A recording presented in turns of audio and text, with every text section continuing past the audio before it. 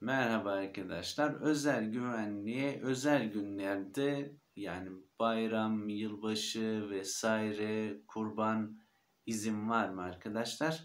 Yani dönüşümlü olarak bir izin olabilir. Bayramın üçüncü günü izin alabilirsiniz. O da tek gündür arkadaşlar.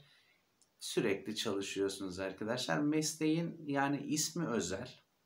Özel güvenlik ama ben yani ben nefret ettim bu meslekten arkadaşlar. Ben gerçekten maruz kaldığım insanlardan, şartlardan vesaireden, durmadan hakarete uğramaktan, insanların alt tarafı güvenlik demesinden vesairesinden dolayı arkadaşlar ben dedim bu mesleği bir daha yapmayacağım. Zor meslek arkadaşlar. Yani gerçekten zor meslek.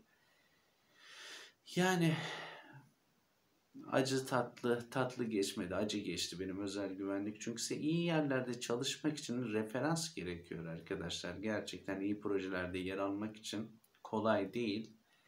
Bir de alması kolay bir sertifika olduğu için arkadaşlar.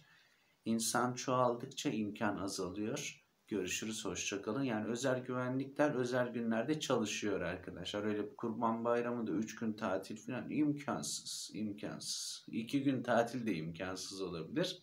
Bir gün. Onu da vermeye de bilirler. Ya ben bayram günü hiç unutmuyorum. Tam videoyu kapatacakken aklıma geldi.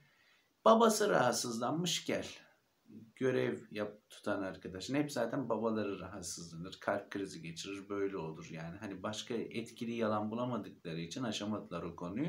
Hep böyle söylerler. Görüşürüz.